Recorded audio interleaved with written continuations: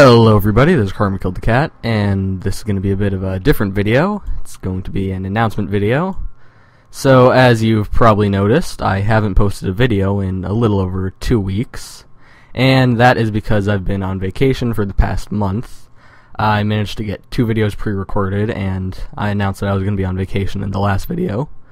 So that's my explanation for the lack of videos. I will start posting videos again on not a normal schedule, but that brings me into the next topic. So, while I was on vacation, I looked over all of my old Lua videos just for fun, and I realized that they were all terrible.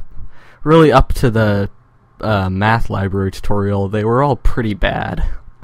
Um, I just missed information a lot. Uh, once or twice, I even said something that was wrong, and in the first maybe 10 videos, I was just really awkward. So that combined with the fact that I have found a new Lua IDE that will let me use Lua 5.2. Thank you, Zillareco. I think I'm pronouncing that right. If I'm not, sorry.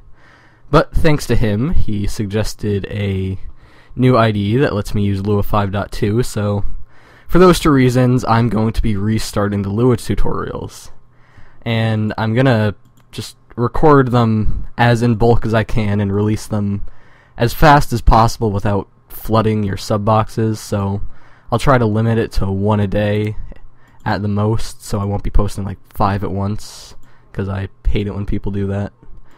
So I will be restarting the Lua tutorials, and that means this, or not this series, but the Lua tutorial series that I was doing before has technically ended. But don't worry, we've gone over pretty much everything. There were only a few more specific little functions and topics that we'd have to go over, maybe five more tutorials, but you can do pretty much anything you want to already with the C library.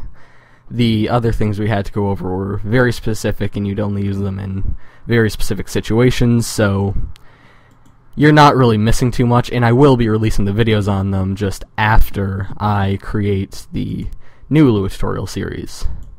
So I'm gonna try to make the new series a lot more professional. I'll plan the episodes out because I wasn't doing that before. I was just kind of winging it and just going over everything I knew.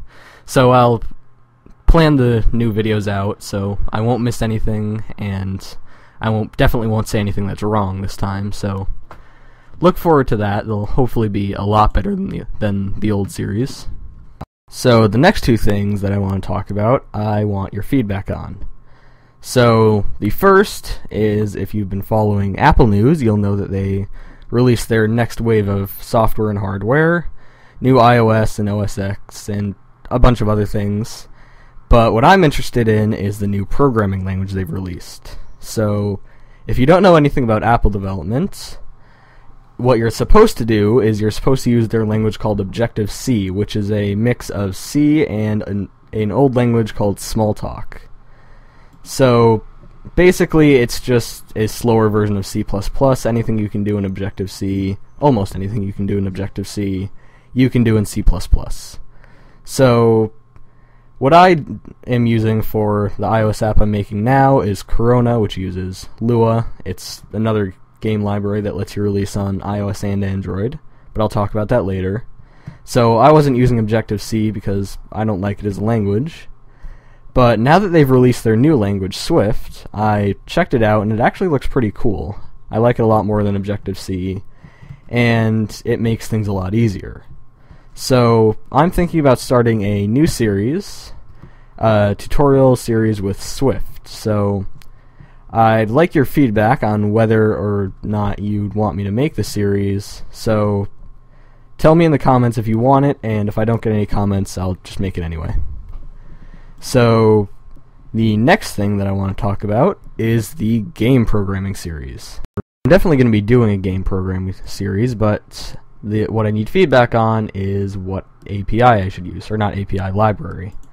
So there are three options because there are three APIs that I keep saying that, libraries that I know how to use.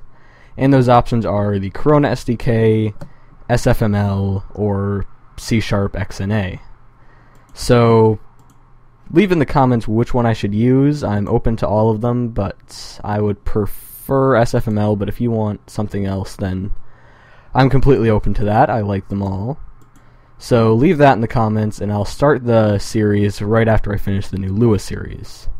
So that's all for this announcement video, and see you when I start the next Lua series.